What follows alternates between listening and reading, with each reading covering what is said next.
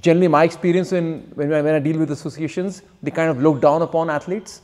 So I get it a lot because I run my own, I run ADCC in India, I run AGP in India, and so on.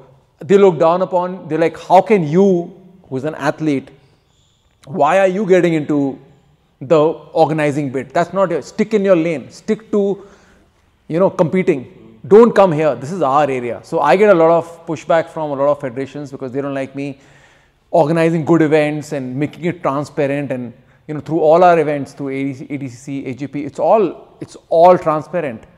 There's a website through you which you register. You know how much you're paying. You know what you're getting. It's all transparent, which is completely going against what the other federations, which kind of keep it a secret and they exploit athletes. This happens a lot in India. So I am enemy number one for these guys.